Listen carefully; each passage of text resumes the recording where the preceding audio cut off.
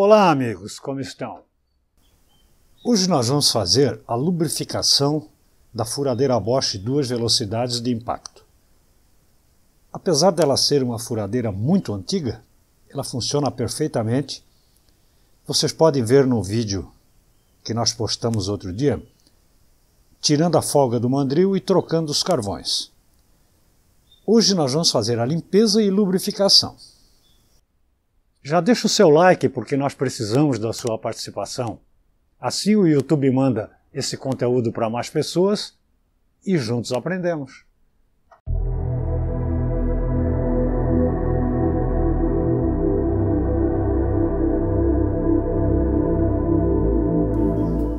Um detalhe muito importante é a graxa que você vai utilizar. A maioria das pessoas utiliza a graxa azul para rolamento, mas nós encontramos aqui uma graxa branca especial para uso em equipamentos elétricos, correntes e engrenagens. Qual é o mais importante item dessa graxa? Ela tem que ser sabão de lítio, porque existe outros tipos de sabões que são que compõem as graxas, porém eles não têm resistência a altas temperaturas. E essa com sabão de lítio resiste bastante a altas temperaturas. E aqui é onde nós vamos lubrificar, principalmente na bucha, ela é sujeita a altas temperaturas. Então, essa é a graxa ideal para fazer essa lubrificação.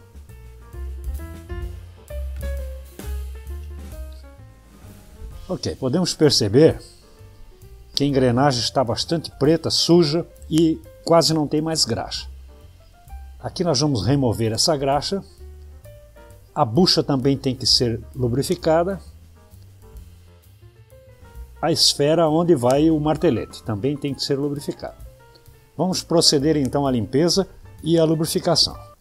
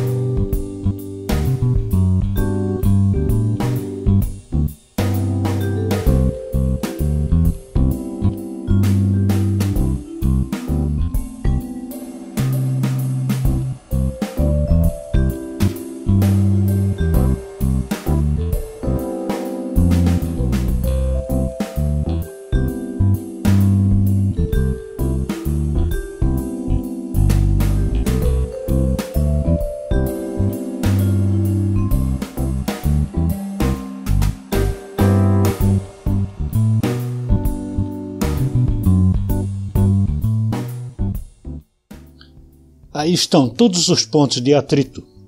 Estão lubrificados com uma graxa especial.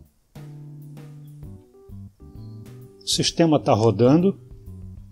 Os carvões estão no lugar. Agora nós vamos fechar e fazer um teste final.